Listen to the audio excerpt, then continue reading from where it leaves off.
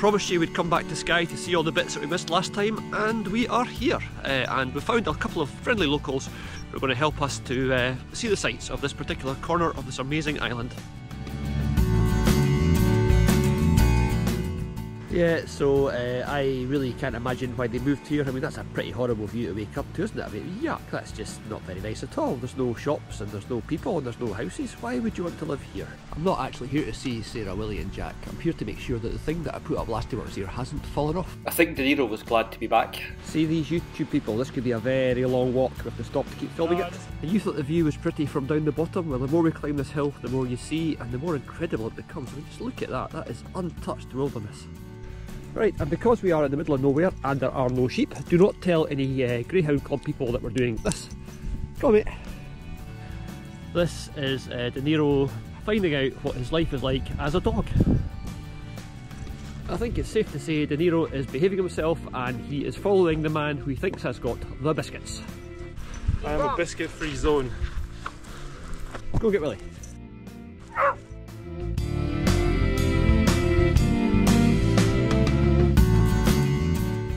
And there's Jack. There's no show without punch.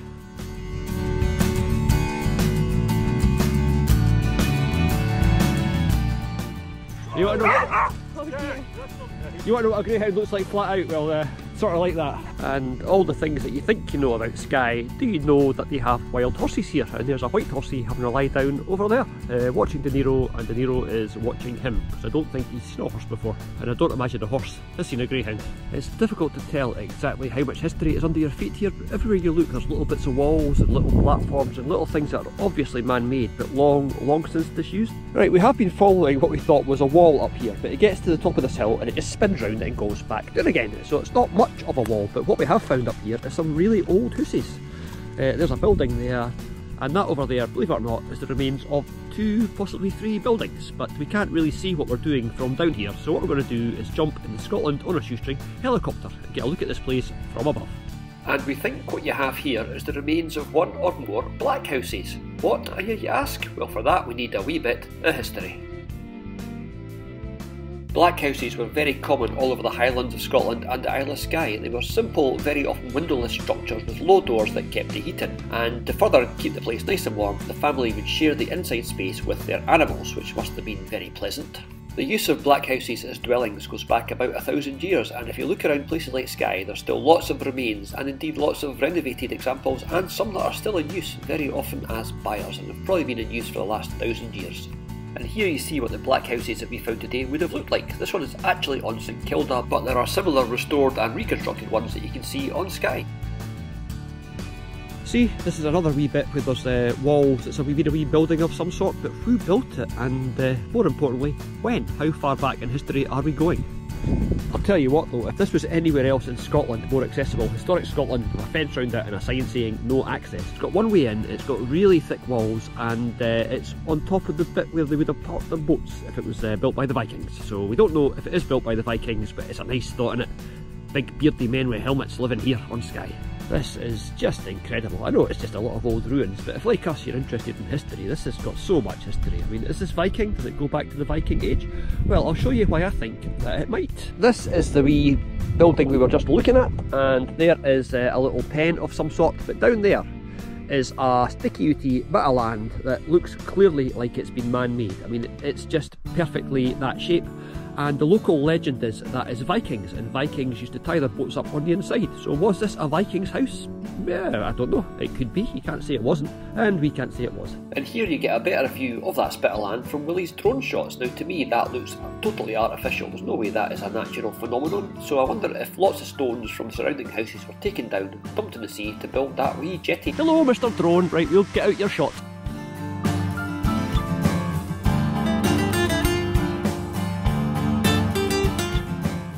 You have to ignore the fact that the dogs are breaking the fourth wall by watching the drone. Whoops. I've got blown a wee bit there. So, Willie and Sarah have got a drone and we've got a camera on a stick. There's that wee settlement that we just walked past from my camera on a stick. Uh, we will also some footage of that supplied by Willie with, uh, with his drone, which will be really quite impressive. I cannot wait to see that. Right, and I know for the last three days I've been calling those big pointy mountains. They're actually called the Cuillins. They're not called the big pointy mountains at all, but big pointy mountains actually works.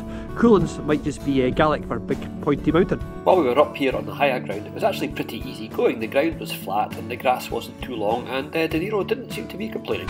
We are wondering how long this path has been here and how many centuries people have walked up it for, uh, and it's not very well used today, but it may have been quite a highway back in the sort of the Viking times, a Viking highway.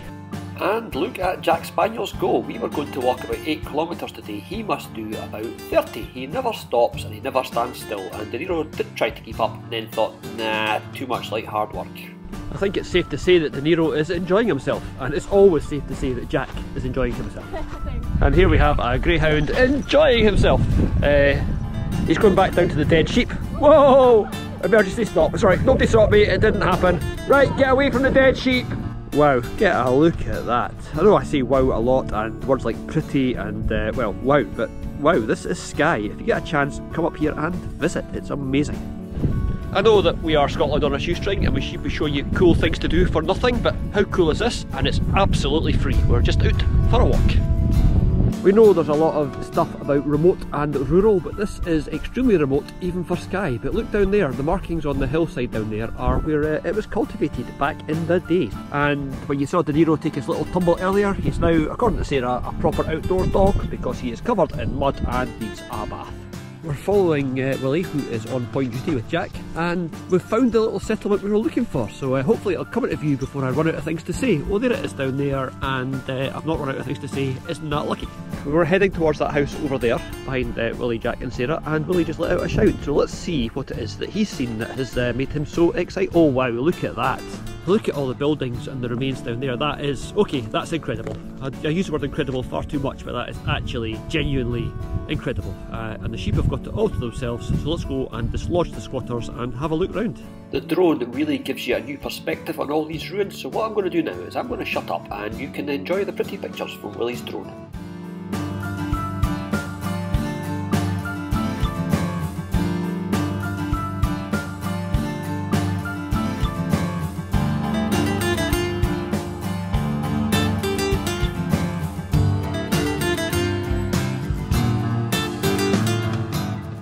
There you are, how's that for a view? And under the Scottish Outdoor Access Code you could uh, camp down there and that could be what you see first thing in the morning when you stick your head out the tent. If you can see anything, if it's not misty or raining, which does apparently occasionally happen up here, but we've seen no sign of it. Yes, so here's De Niro and the reason that he's looking a bit unsure is the drone has just been launched. So uh, Willie's going to do his magic with the drone and De Niro's going to say, what is that noisy wee thing? I don't like it. Here we see the YouTube movie stars between shots. Uh, Jack is having a wee wag of the tail and De Niro is unsurprisingly having a wee sleep. Here we are down actually in the settlement, in the ruins. It's really impressive. The walls are very thick. They're all uh, quite intact though. It's about you know four or five feet tall. Really like this place. This is an amazing discovery. Well done to Willie for uh, locating it on the map. There's another view of it. This is just incredible. I mean, this is a place that virtually nobody ever comes because virtually nobody knows it's here and it's quite inaccessible. But that bit down there we saw on the drone footage and look at the wall built in front of it. That's a big platform at one point, I believe. I'm not an expert, but I do like uh, imagining things, as you know. There are just ruins everywhere, and hovering above them is uh, Willie's wee drone. Hello, Willie's wee drone! And there is a big bird that is probably going to go and have a fight with the drone. Oh, fight, fight, fight, fight, fight. We now need Willie to get his drone and go and get some close-up footage of that white-tailed eagle that's just shown up above this place. This is just magical. I know this camera is not showing you a very good view of it, but trust me, that is a white-tailed eagle and it looks amazing. These will obviously all show up much better in Willie's drone footage, but all these buildings are just incredible and uh, very, very old. I mean, I've no idea exactly how old. We'll have to do a spot of research and we will let you know. Uh, so we've taken a wee wander away and uh, Willie and Sarah are now off exploring over there and we're heading for the little church and look at Jack Spaniels go. Well, we've said church a few times. That is actually an assumption made from uh, quite a big distance away, so it may be a church or it may be something completely different. That's the problem with this sort of exploration. You say something once and then you decide for yourself that it's actually true, uh, but we don't know. We're going to go and have a look. Oh, this looks quite cool. On the way to the church, there's this little stone pile here. Is it a natural piece of stone or is it a cairn? And if it's a cairn, who built it and why? That's always the interesting things, is it? Uh, no, I think it's just a natural piece of rock. So sorry, I've just wasted 30 seconds of your life. Right, I think it's time to stop for a second and just soak in the sort of sheer majesty of surroundings where we are. This is a wee, not very well known corner of the Isle of Skye, and there's our wee church we were looking for. And uh, just but look at the scenery and the landscape and the blue skies and the sunshine. And over there is what we think is the Isle of Canna, but we canna be sure. Sorry. Well, one thing is for sure. Once we get back to Willie and Sarah's, De Niro is going to sleep. He is uh, probably quite tired after this nice long walk, uh, which he is not used to, and uh, is certainly not used to the countryside.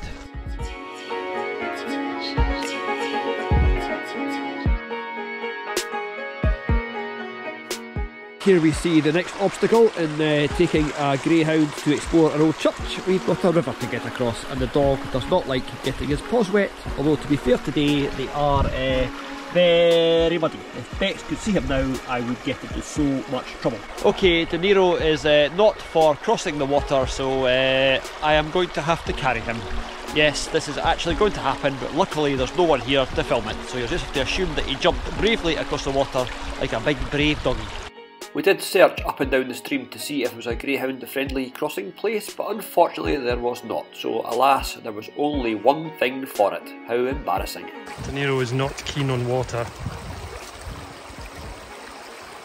Bravery is about to happen, we think.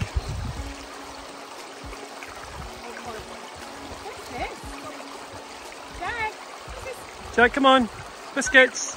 oh, Oh, This is so embarrassing for both of us. you're about to get very wet feet, and De Niro is not getting wet feet at all. That is the feel. that is that is proper dedication, though. That's a good dog dad right there. Oh my gosh. Well done, De Niro. Well done. It takes a big dog to uh, accept a lift over a river. Ah, nice. Jack's like, excuse me? Here he goes though, intrepid. Oh my gosh. Anything for Scotland or a shoestring. My shoestrings are a bit wet. a wee bit. Goodbye. When we say De Niro likes a biscuit, he, he does not discriminate. He'll have any biscuit, even mine. So after that slightly embarrassing interlude for both of us, we are now over the river, over the wee fence, and we are going to go and have a look at the church. Uh, I can't wait. I keep calling it a church. We'll find out if it is. This is cool. This is something that Sarah found inside the church. Number one, wide awake. Uh, no idea what that might be, but we are going to do a bit of research because that is that's something quite cool. That's uh, been a cover for something. Wouldn't be electrics up here, but it's certainly been part of a plumbing system or maybe part of a flue heating system, something like that. It's uh, it's very cool and uh, very old. And here we are inside the little building, and uh, there's one of the few trees on the island. It's found a nice little niche where it could have uh, had a happy long tree life. And there is Willie through a hole in the wall. Hello!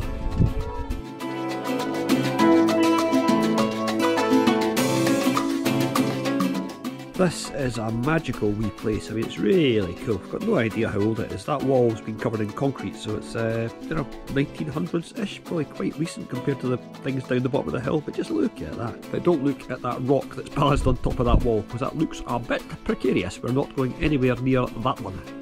Wondering about what this building was, it could well have been a church because the church would be the most impressive building in the settlement. It would be where everybody went, it was the centre of the community and the centre of learning and the centre of everything. These people had a faith that was tremendously important to them. And if you look where they were living in the winter, that faith probably is what kept them alive and kept them going. I'm sorry we can't give you any more sort of history on this place, but we genuinely don't know. I mean, it's uh, it's not recorded anywhere that we've seen. It'll be a settlement of some sort, blah blah blah. But we are not a history blog. We are a taking the dog for a walk blog, and the dog is loving his walk as much as he loved getting carried over that wee river. Uh, if he'd walked through the river, at least he would have cleaned his paws up a bit. So we are up at the church, and if you look down the hill from the church, there is even more ruins, and above that is the old rigs from the agriculture. So this was this was a bustling and big community for uh, the corner of nowhere.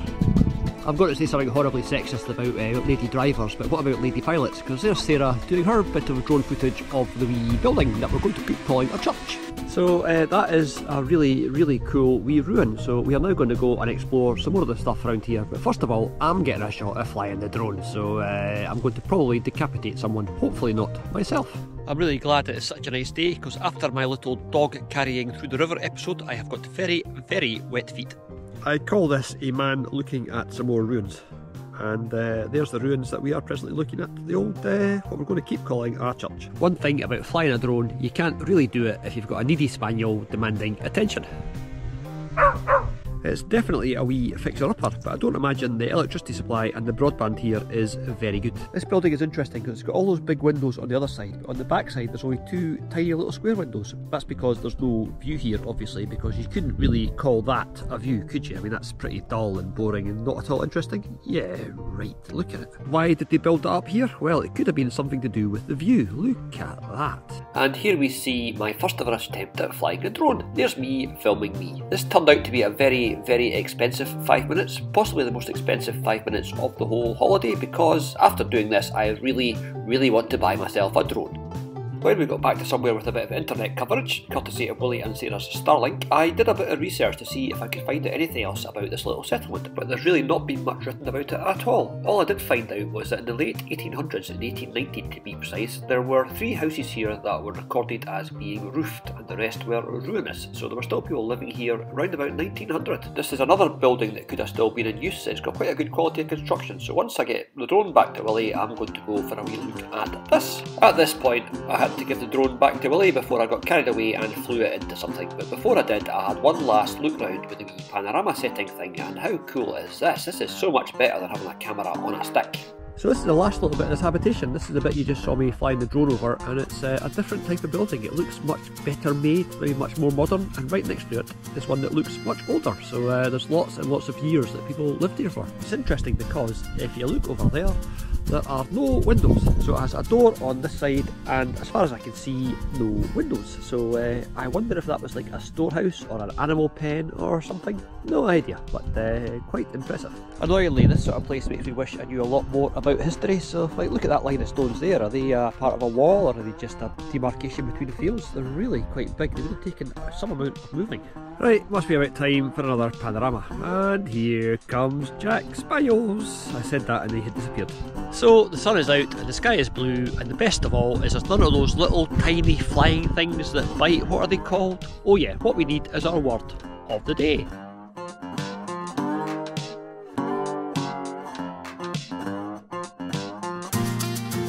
So if the midges were here, you would know all about it because you would be getting eaten alive. And here we see Jack Spaniels doing his uh, piece to camera with and Sarah. Look at him go. Are you watching, De Niro? De Niro, are you watching? Yay! And here we see De Niro not handling the boggy conditions very well. I think he's just about had enough of exploring. But he does seem to quite like a little snack of sheep poo, which is uh, a worrying development. I, uh, will have to check that it's not harmful. I've been told that it isn't, but uh, fingers crossed. We'll see what it does to his uh, digestive transit tonight. Alright, I said we were heading back, and then up there on that hill, there's what looks like a fence post in front of a cave. And obviously, if it's a cave, you have to go and explore it. That is the rules. So our cave isn't actually a cave, our mysterious thing is a fence post, but look at that view. We have climbed quite a lot of altitude and it is worth it. There we have She Walks, She Paints, and there we have He Walks, He Pants. We were all the way down there, and now we're up here to find it's a small alcove with a fence post in it. And uh, I'm sorry to say, it was my idea to come up here, so I'm probably not going to get spoken to. Over there, that is the Cuillins again, all uh, wrapped in cloud. That is so pretty, and they're not the big pointy mountains; they are the Cuillins. And when a sheep put in an appearance while we were on the way back, De Niro was too tired to actually care. That is uh, quite a nice view, isn't it? With uh, Willie and Sarah in it. Once again, we uh, hear Willie exclaiming in excitement that he's seen something cool. So let's go and uh, Oh my gosh. have a wee look. Oh my gosh, that is uh, that is splendid. Uh, there's Sarah and Jack Spaniels enjoying the view, and what a view it is. I mean, look at that. That's looking up uh, towards the head of the loch, where you can see the little scattering of uh, houses and habitation. It's really, really sparsely populated, but really, really nice. So there's that uh, bit of land that sticks out from the coast. That's got to be man-made. I mean, that's just piles of rock that have been dumped in that place. And there's an old building down there and a slightly newer building. And there we have the old graveyard and churchyard, which is rumoured to be the oldest graveyard in Europe. Now there are two churches there. One is medieval and one is 17th century-ish. So uh, we're going to go for a wee look. This is the little churchyard, and this is absolutely incredible. I mean, photographs really, really do not do this place justice. There are uh, gravestones with swords on them, there are old Celtic crosses, this is just so cool. De Niro is giving me a look that says, you have made me walk far too far today. And with one last look round just to check out the scenery, we headed back down the hill to our starting point and then we travelled back up to the Skyelife cottage. And that's our little explore done. Sherpa Tenzing here tried to take us to find two 8th century pillars, but unfortunately all we found was a bog that is at least half a greyhound deep. When Beck sees the state of our pooch, I am in so much trouble. De Niro and I had had a magical day out with Sarah, Jack and Willie, but we headed back down towards the house because all good things must come to an end. But this day wasn't quite ready to give up on giving us excellent things, there was still more to come. When we got back to the Skyelife hammock, we were sitting there and De Niro collapsed in an untidy heap, and then he went missing. So we thought, oh dear, a missing greyhound is never a good thing. What sort of mischief is he up to? And it turned out he was indeed ready for his bed. Or actually, technically, what he was ready for was Jack's bed. Good job the little spaniel didn't see that De Niro had finished his bed, or he might have been a bit peeved. I am not in this bed, it's not me, you look at someone else, I'm a good boy. I am a black and white spaniel. Nothing to see here. I hope the jar doesn't come through. Right, well, once again, thank you for watching this episode of Scotland on a Shoestring. We have visited the Living the Skye Life house, we have seen the old ruins round about, and now we are having a beer on the hammock. So as always, if you've enjoyed this, please like and subscribe and all that gubbins, and we'll see you soon for more Scotland on a Shoestring. Okay, so that was supposed to be that, but as we sat around the fire pit at night in the dark, enjoying the general ambience of being on Skye, I went up to the van to get De Niro's coat because it was getting a bit cold. So I got to the van, and when I got there in the pitch black and looked up, I saw this.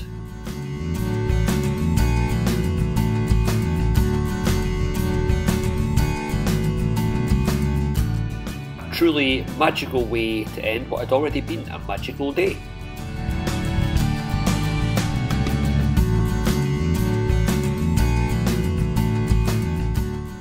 We don't like poo. We don't celebrate poo. We definitely don't eat it. Right, De Niro, repeat after me. Sheep poo is not a snack. Sheep poo is not a snack.